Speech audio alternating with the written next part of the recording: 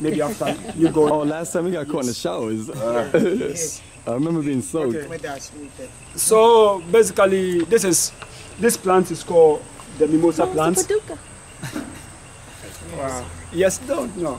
This plant is called the mimosa plant, and some we Africans have different way of recording whatever transpired in history. We have many many ways of documentation, and this plant basically talks about the life of Africans before, during, and after slavery. The big question that I always ask my brothers is or sisters, what kind of life was African living before these people came to us and started committing this kind of crime in our Royal. yes. You see, you see how this plant is open. Yeah. Mm-hmm. Yes, that was that is how Afri- we were living our lives as African. We were warriors, we were hunters, we were farmers, we were traditional healers, we were artisans, we were writers, we were thinkers. All the profession that you could think of, we were having some in Africa.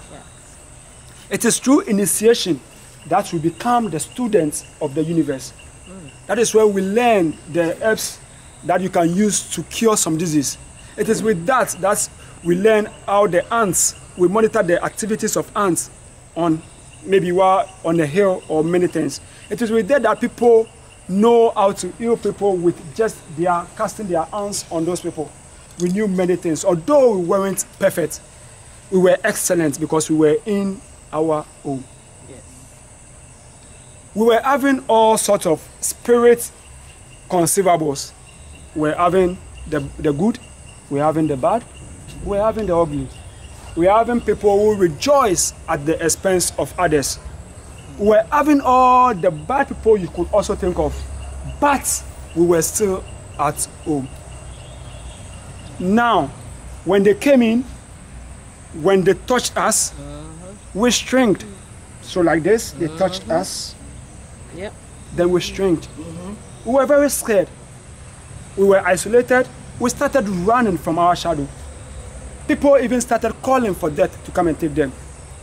We were even living in caves and mountains, the, the natural habitat for wild reptiles and animals. We were living there with them because they touched us. Mm. Now, it is up to the plant to open again. That is where I need all you on board. You see, when you come here and you give me money, you've, you've given me nothing. Because money is something that I may enjoy today and it will never be there tomorrow. But when you come and you impart wisdom and knowledge to me, you've given me a lot of things. That is why I said most of our brothers and sisters, all our best people were captured. And now you are our best people also.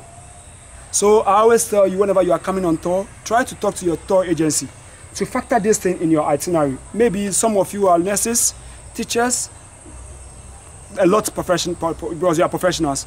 So please, can you? I'm a teacher. Can you organize a place that I can meet with two school children and I can impart something to them? Mm-hmm. I'm a nurse. Can you do something so I can meet with some patients and tell and educate them? It is with this that you are giving back to your society or your roots. So sometimes whenever you are traveling, you should try to factor those things in because it is very, very, very important. We need you and we need your expertise. So we're making our way through the ancestral routes.